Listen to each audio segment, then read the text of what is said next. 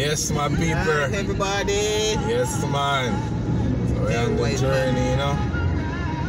On the journey, you know. On the road again. Yeah, Auntie yeah. Pauline said that. Yeah, yeah. So we are gonna big up Auntie Pauline. Remember to like, comment. Yeah, don't forget to hit the Malachi. subscribe button. Yes, man, it's a journey. Outside, but we're inside. We out there. Yes, my people. Hi, everybody. How you doing this morning? Bright and sunny Sunday morning. This is your girl, Auntie Pauline. And as you see, I am in a different settings. But however, can't too busy to proclaim the word of God, right? So just gonna give you a few words this morning of encouragement and then I'll go on my way. We are on the road again, Auntie Pauline. God drive now? So just to remind us all that Jesus paid it all, okay? Jesus paid it all.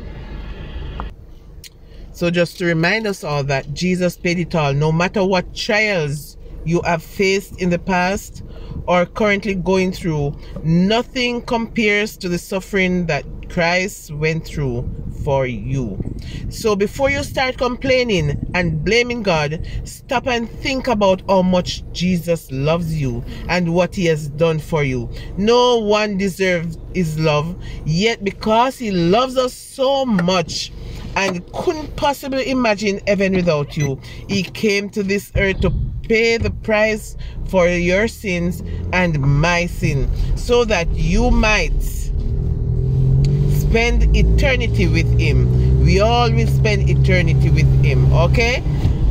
So the Bible says in John 3 and verse 16, For God, say with me, for God so loved the world that he gave his only begotten Son, that whosoever believeth in him should not perish but have everlasting life.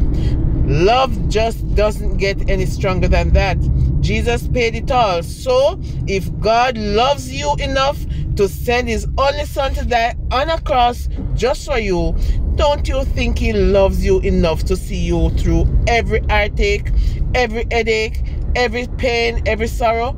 Huh?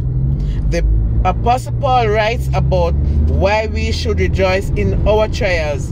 In Romans 5 22 to 5, it says, Through him we have also obtained access by faith into this grace in which we stand, and we rejoice in hope of the glory of God.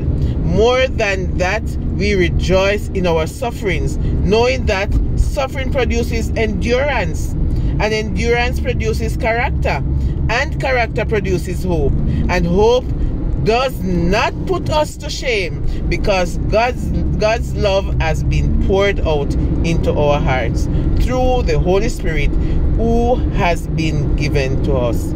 So again, listen to this. Jesus paid it all. So stop worrying, man. Stop the worrying. Stop the fussing and put everything into the hands of God. Okay?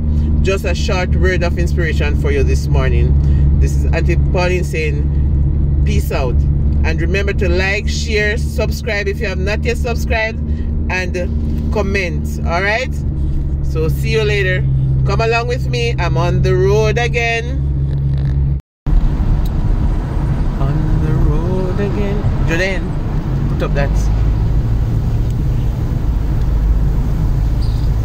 Family outings, it is.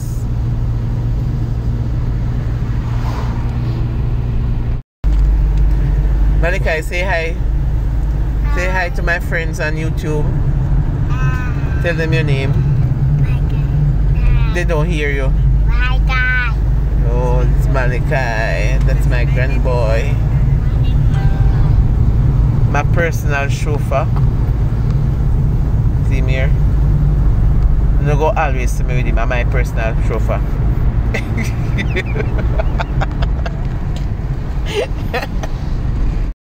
Who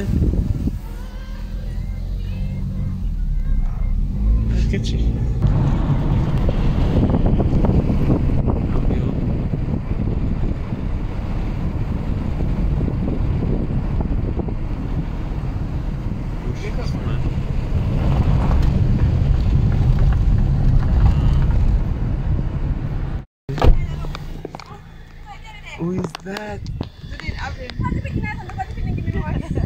Where is Sarah?